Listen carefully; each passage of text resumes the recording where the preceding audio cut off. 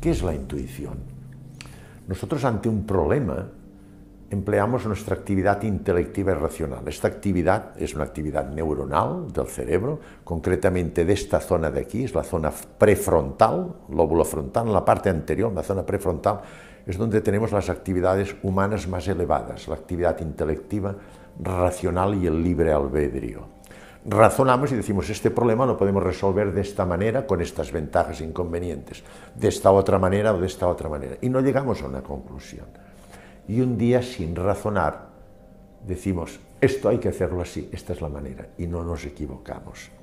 Cuanto más espiritual es la persona, cuanto más consciente es de su auténtica esencia, de su conciencia no local, más a flor de piel la tiene, más se manifiesta, más intuitiva es.